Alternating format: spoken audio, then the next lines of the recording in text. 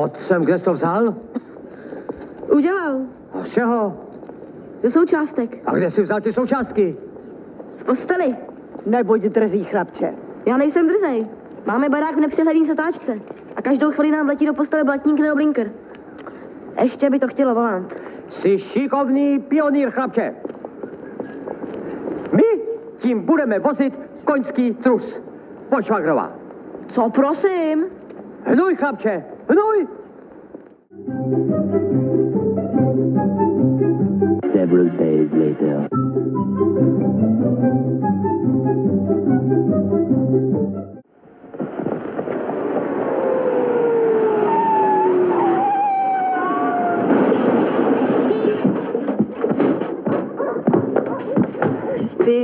dönem sabah.